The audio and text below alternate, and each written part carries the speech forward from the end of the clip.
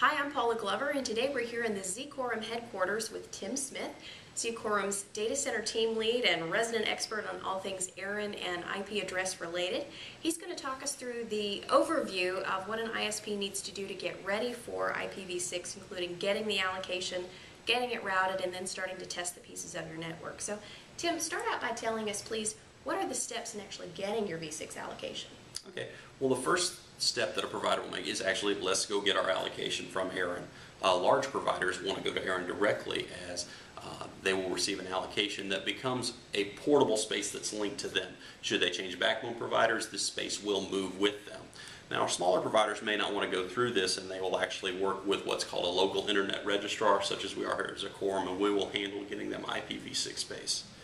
Um, but today we're going to talk about what it would take to actually go to ARIN directly the first thing you must do is you must obtain an org ID. Your org ID identifies you in ARIN's database as an entity, whether it's a business, a nonprofit, or government agency. You must be there to actually receive an allocation from ARIN.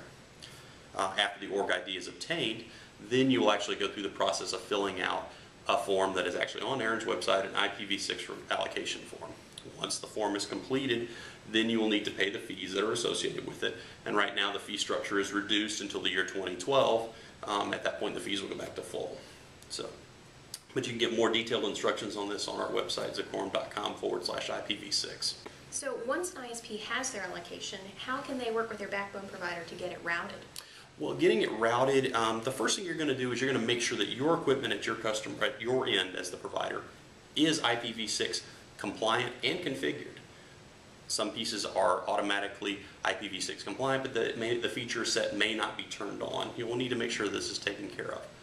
Once you get the space, you will then contact your backbone provider and say, here's my ARIN allocation. Can you please route this down my existing circuit?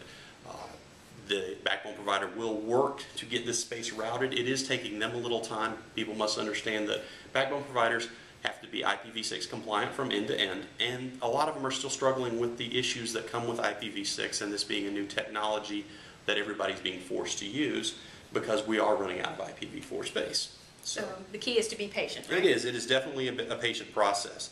Um, once the addresses have been routed down your circuit, you can then begin IPv6 testing, going to various IPv6 websites that are out on the internet right now. A lot of the larger content providers, such as Google and Yahoo, have IPv6 capable websites. Perfect. So once you've got an allocation and you've got it routed, what else inside your network do you need to be thinking about? At the network level, you need to realize that the internet as we know it is not going to function in the same way and that IPv6 is not the exact same thing as IPv4. V4 space is what we've all been used to. V6 space is a little bit different. Um, it's quite large and it is going to take some time for us to retire all the legacy IPv4 internet and everybody move over to IPv6. We suggested during this time you should actually do some readiness testing on your network and figure out the devices that are actually ready to go um, and what is your, going to be your best path for IPv6 deployment. Some folks will go with what is most commonly called a dual stack. You will use some IPv4 and some IPv6 because you will have pieces in your network that are not compliant all the way through you will have legacy pieces that you will have to make uh, decisions as a provider. Do I want to continue to try to support IPv4 networks or do I want to move over to IPv6 networks? You will also have your end users who will also be having legacy equipment and may not be able to move through your transport. So most of our affiliates will run in what is called a dual stack mode. They will actually run some IPv6 only content, some IPv4 only content, and things will be homogenized so they can run on either set of content depending on where you're coming from. That's good information. When we talk about end users, what all do you need to do in your network to deliver the service down to them?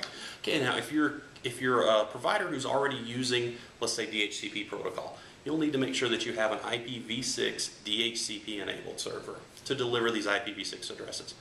In addition, you'll need to make sure that you have delivered to your end users an IPv6 device at their location that can terminate IPv6 routing, uh, be this a cable modem or DSL modem. Uh, you will also need to make sure that the if you are an ISP who's used to using PPP or radius authentication as we call it, you will need to make sure you have an IPv6 radius server as well. Any other support servers, email and DNS, those will also need to be IPv6 compatible. Good information. We want to thank Tim for joining us and explaining the overview of how to implement IPv6 in an independent ISP's network. We hope you'll stay tuned for our next video when we talk with your business customers about what they need to do to be ready for IPv6. Thanks, Tim, for joining us. Thank you.